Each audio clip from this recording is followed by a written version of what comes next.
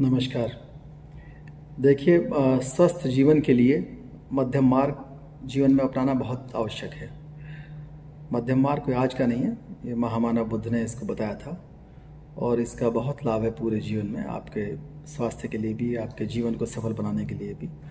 हर तरह से इसकी उपयोगिता है, इसको अपनाने में कोई बुराई भी नहीं है। आदमी किसी भी पृष्ठभूमि से आया हो, किसी भी परिस्थिति में रह रहा हो अगर मध्यम मार्ग को अपनाता है तो वो उसके स्वास्थ्य और उसके सफल जीवन में हमेशा चार चाँद लगेंगे। आप लोग आजकल की जो भागम भाग है, भाग दौड़ है, आधुनिकता है, उस कंपटीशन में लोग स्वयं को टाइम नहीं देते। तो आजकल का जो माहौल है, वो आपको चीख चीख करके बता रहा है कि आप खुद को भी टाइम दीजिए, अपने परिवार को भी टाइम दीजिए। व्यक्तिकता भी ज़रूरी है और सामाजिकता भी ज़रूरी है। दोनों के बीच एक मध्यम मार्ग है, जिसमें बहुत सावधानी से आपको अपनाना है और उसके साथ अगर आप जीवन जिएँगे तो कोई दिक्कत नहीं होगी। कभी भी ये मान के चलिए परिवार और आपका खुद का स्वास्थ्य वो आपके व्यवसाय से कम इंपॉर्टेंट नहीं है। होता क्या है, हम लोग अपने व्यवसाय को अधिक समय देते हैं, उसके प्रति बहुत ज़्यादा बहुत ज़्यादा गंभीरता से अपनाते हैं और उसमें हम अपने आप को और अपने परिवार को उसकी बलि कर बैठते हैं, उसका ध्यान नहीं देते हैं। अपने फिटनेस का लेवल बढ़ाइए खेलिए, कूदिए, फांदिए पूरे हर तरह से व्यायाम करिए, चाहे योगा करिए, बहुत सारी चीज़ें हैं जो भी आपको पसंद हो, जो ईजी हो, जो अच्छा लगता हो, जो कंफर्टेबल हो। लेकिन फिटनेस का लेवल हमेशा पूरा ये ऐसा नहीं है कि आप एक महीने पतला होने के लिए फिटनेस कर रहे हैं एक्सरसाइज कर रहे हैं, उसके बाद आप फिर खूब खा रहे हैं। खाने में भी मध्यम मार्ग होना चाहिए एक्सरसाइज में भी मध्यम मार्ग होना चाहिए। जो आपको फिट रखे, उसका ध्यान रखिए। हम लोग देखिए प्राइमेट्स हैं। प्राइमेट्स की ही संतानें हैं। प्राइमेट्स आपने देखा होगा बंदरों को, कूदते फांदते पेड़ों के ऊपर, उन्हें कोई दिक्कत नहीं होती, वो कोई मेडिसिन नहीं खाते।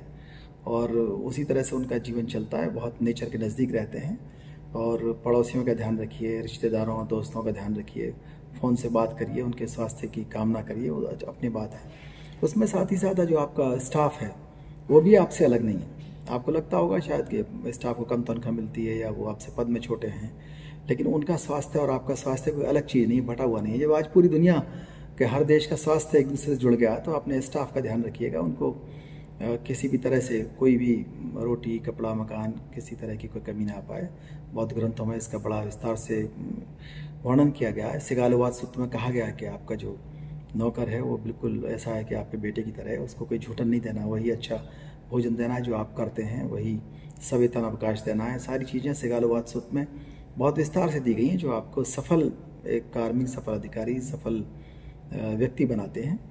और किसी भी तरह से देखिए, अंधविश्वासों में, वो चाहे कहीं भी किसी पृष्ठभूमि से जुड़े हों, किसी भी संगठन से जुड़े हों, किसी भी रिवाज से जुड़े हों, संस्कृति से जुड़े हों, किसी भी देश से जुड़े हों, अंधविश्वास पूरी तरह से किसी काम के नहीं है। ना वो आपके स्वास्थ्य के काम आते हैं और ना ही उनका कोई जीवन की सफलता में उनका कोई रोल आता है। साइकोलॉजिकल बहुत से लोग कहते हैं, ठीक है, लेकिन ऐसी साइकोलॉजिकल कंफर्ट से क्या फ़ायदा?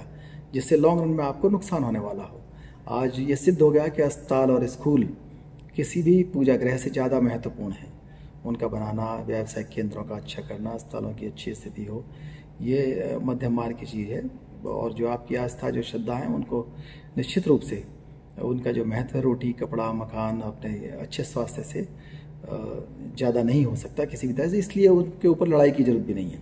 सांप्रदायिकता के चक्कर में भाई भतीजावाद के चक्कर में, क्योंकि आपको सबसे बड़ा जो प्राइमरी ऑब्जेक्ट है प्राइमरी ऑब्जेक्टिव है इस समय, वो है आपका स्वास्थ्य, अगर आप स्वास्थ्य हैं। और देखिए, पूरी मानवता, विश्व जो है, एक परिवार है।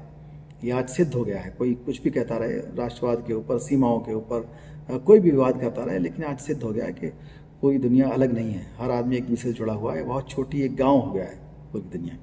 तो उसको उस शांतिपूर्वक उसको स्वस्थ रखने के लिए आवश्यक है कि आप उसमें योगदान देते रहें किसी भी तरह से। और इन किसी भी चीज़ में आ, ये मान के चलिए कि आप अपना केयर कर रहे हैं चाहे दूसरों की केयर कर रहे हैं। वो एक ही चीज़ है। पहले लोग इतने स्वार्थी हो सकते थे रिस्क ले सकते थे कि हमारा स्वास्थ्य तो ज़्यादा इंपॉर्टेंट है दूसरे का स्वास्थ्य इतना इंपॉर्टेंट नहीं जबकि ऐसा नहीं है। आपका स्वास्थ्य और दूसरे का स्वास्थ्य एक ही चीज़ है, दोनों पर ध्यान दीजिए।